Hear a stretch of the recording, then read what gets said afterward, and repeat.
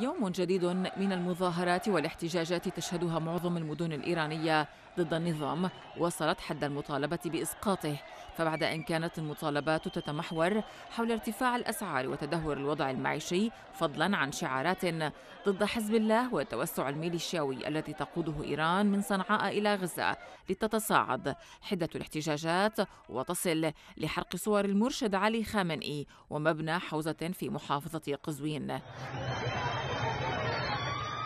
الواضح أن المظاهرات ضد النظام في إيران لن تكون عابرة حتى لو تم قمعها كما حصل في العام 2009 فالحالة الشعبية تعكس نقمة متزايدة ضد النظام الإيراني وما من مؤشر إلى أنه يمتلك أوراقا لتغيير هذا الواقع عدا عن القمع وشراء الوقت بانتظار الموجة المقبلة من التظاهرات. فمع دخول التظاهرات يومها الخامس سقطت أعداد من القتلى والجرحى من المحتجين.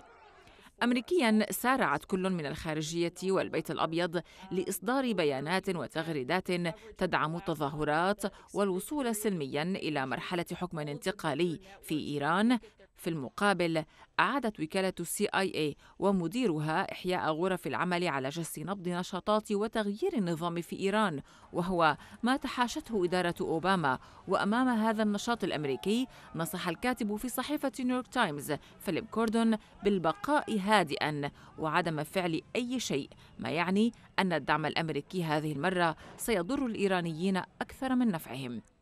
لطالما امتد التدخل الإيراني إلى شؤون دول المنطقة إلا أن التغييرات الأخيرة تثبت أن لا استقرار ولا ثبات دائم لأي لاعب في الشرق الأوسط مهما كان طموحه وتعددت عواصمه. وكل السياسات هي داخلية وفق قول رئيس مجلس النواب الأمريكي السابق تيب أونيل وخسارة الداخل تعني خسارة كل شيء.